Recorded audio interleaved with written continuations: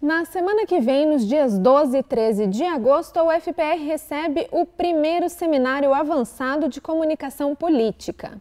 O encontro vai acontecer no auditório do campus Juvevê da UFPR em Curitiba e terá a participação de um dos mais respeitados professores e pesquisadores da área na América Latina, o jornalista e doutor em comunicação Felipe Vergara Maldonado, da Universidade André Bello de Santiago, no Chile. Além do pesquisador, participam também representantes de quatro grupos de pesquisas da UFPR. O evento é promovido pelo Programa de Pós-Graduação em Comunicação da Universidade Federal do Paraná, o PPG com UFPR, e em parceria com o Grupo de Pesquisa em Comunicação Eleitoral, o CEL UFPR. E o FPR Notícias de hoje recebe uma das responsáveis pelo evento, a professora doutora Luciana Punk. Seja muito bem-vinda, professora. Obrigada, Bruna. É um prazer também estar aqui para a gente poder divulgar né, o máximo possível esse tema que é tão relevante, especialmente agora. Então, professora, primeiro, para começar, conta para a gente o que, que é esse evento, como é que funciona isso?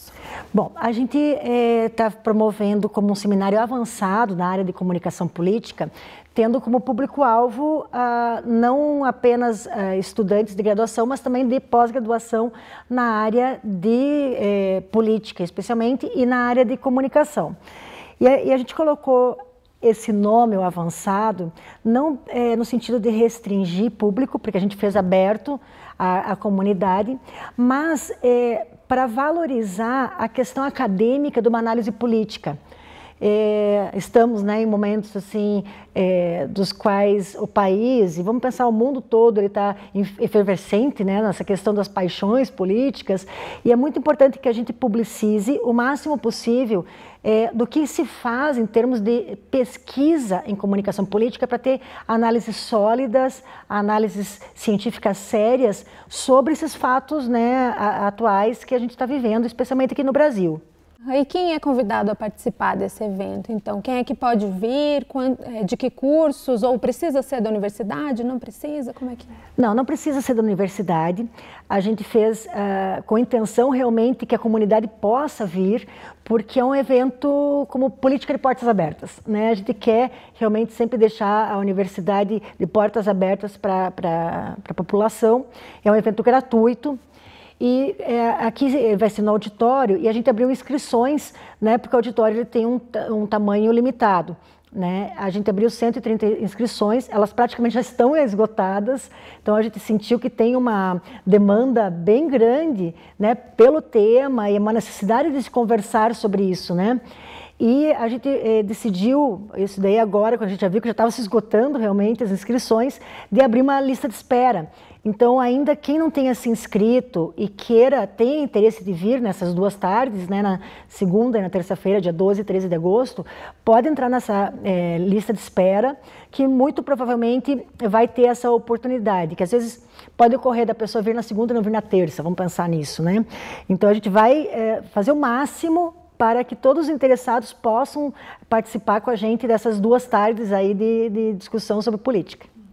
E esse momento é, que a gente vive de político, momento político mesmo no Brasil, ele torna mais urgente essa discussão dos pesquisadores da área? Como é que isso influencia também nessa, nesse, no próprio evento de comunicação política, mas nas discussões de pesquisadores mesmo também?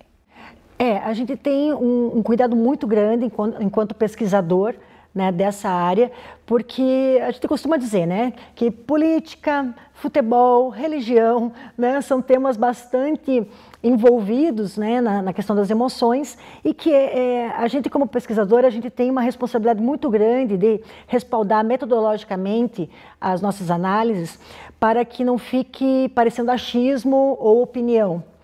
É, e nesse momento que a gente está vivendo uma polarização nunca vista no país, é, realmente de amor e ódio, né? a gente é, precisa o máximo possível uh, ter análises consistentes para ajudar na formação da opinião pública.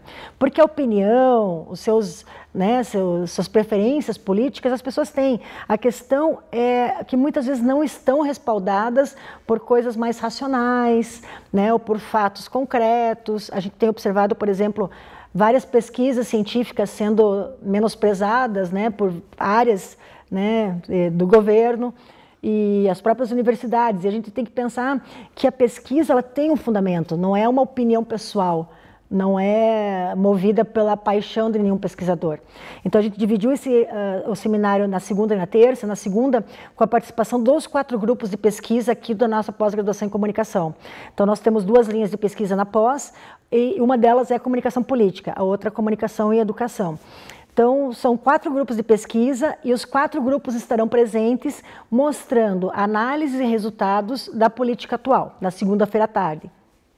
Na terça, que virá então o professor Felipe do Chile, ele é, é integrante também da associação que eu sou vice-presidente, que é a Associação Latino-Americana de Investigadores, né, de Pesquisadores em Campanhas Eleitorais, é, o qual será então uma mesa dessa associação, que a associação, o nome se chama Alice.